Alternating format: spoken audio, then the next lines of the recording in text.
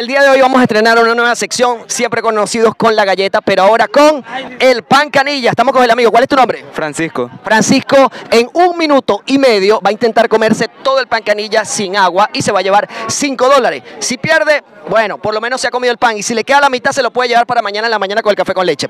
Así que Francisco, ¿está preparado? Un minuto y medio, Francisco. Hay gente pendiente observando. Arroba Claudio Mendoza, arroba Héctor Monsalvec. Este pan es cortesía de Panadería Trigo Dorado. Hay diagonal la Cantebé en la Nicolás Briseño. Ok, listo. Pendiente, Francisco. Decimos uno, dos y tres. Arranca Francisco. Tiene un minuto y medio. Concentración. Concentración. Concentración. Concentración. Para tener más precisión. Para tener más precisión. Vamos, Francisco. Dale que te queda mucho tiempo. Es un minuto y medio.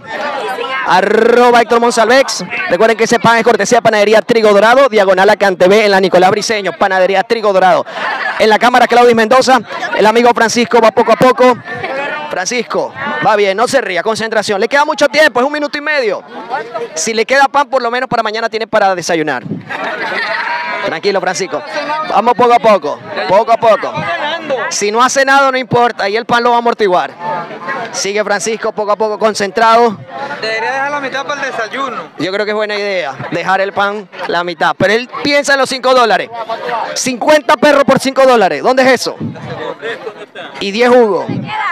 Vamos. Va un minuto y 10 segundos. Un minuto y 10 segundos.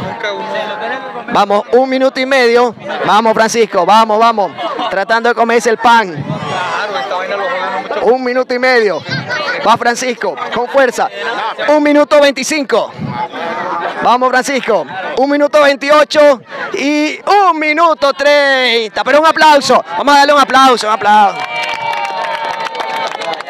El primero que se estrena con la sección del pan canilla. Nos queda un solo pan canilla. ¿Quién se atreverá? ¿Quién se atreverá? Seguimos.